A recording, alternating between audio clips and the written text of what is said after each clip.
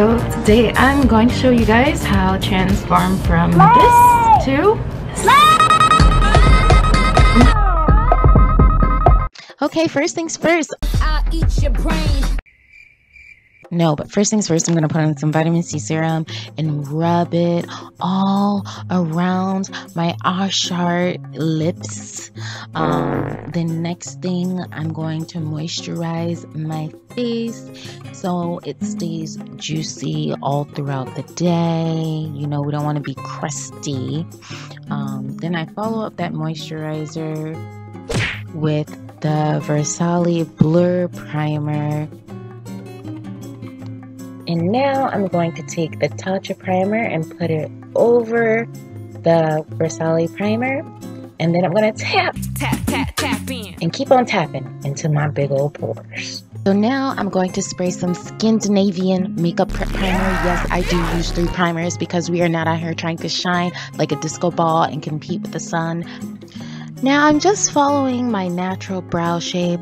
I would say I go for the natural look, but the reality is I have no skills to do the Instagram baddie brow that my heart truly desires. Not twins, but cousins. It will do. Here I am covering up my hyperpigmentation with a concealer that is close to my skin tone. Now I am pat pat patting it in for my life.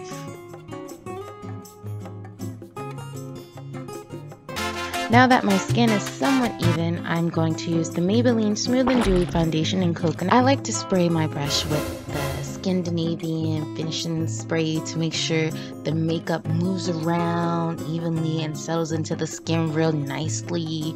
Uh, it really helps to build a nice medium to coverage look without the cakiness.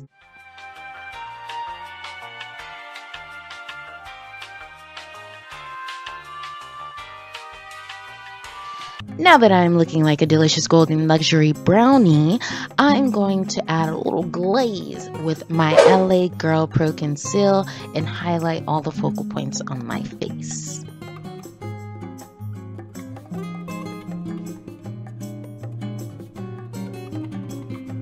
I like to use the same brush I use for my foundation because it helps blend the concealer a lot better.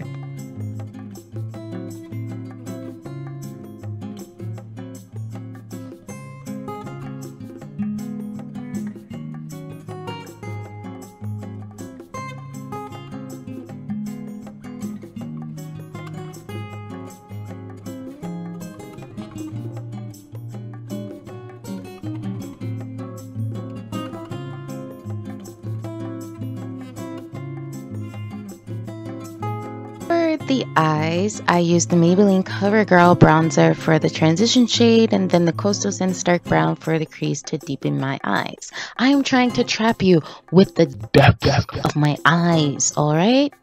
I'm definitely feeling myself. Feeling myself. I'm feeling myself. Now for my lids, shiny shiny with ColourPop's Lala eyeshadow and just blend it out with my fingers.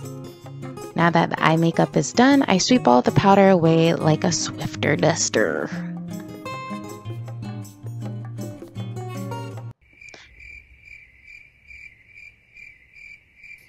What? Now I'm adding the final steps to my glazed brownie transformation by adding highlights to my nose and my eyes. I am trying to blind you in the room.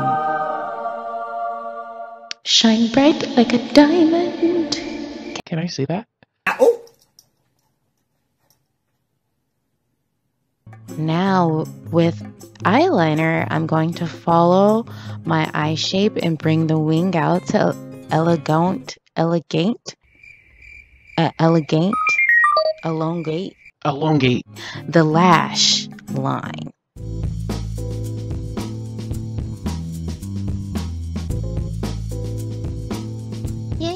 Pretty.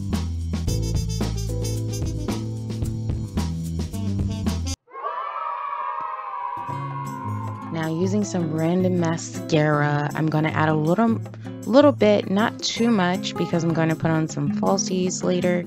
Um, but this is what it looks like without the falsies. Just Island Eye Mascara.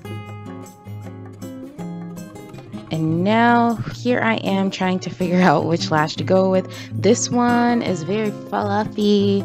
I feel like it would just overpower the look. So I ended up going with a more neutral lash uh, which I'm applying now called Flirty. I don't know the brand, but I found them for like $5 and 5 and below. Um, and it's really small. Well, the brand, the band is really small and the lash is really barely noticeable. Now I'm using Anastasia lipstick. I'm not sure if the name I'm truly up doo creek when I run out of that lipstick. Uh, but now the makeup is truly done. And the wig is the final accessory. And we have arrived. She has arrived. Okay, so this is the final look. I don't think it's not bad at all. I actually like it with this hair. And I think it's a good thing I didn't get the I didn't choose the bigger lashes because then I they probably would have like overpowered the bangs just wish the bangs would, you know, banging, okay? Just, you know. But yeah, I like it. Hope you guys enjoyed that. I will see you guys next time.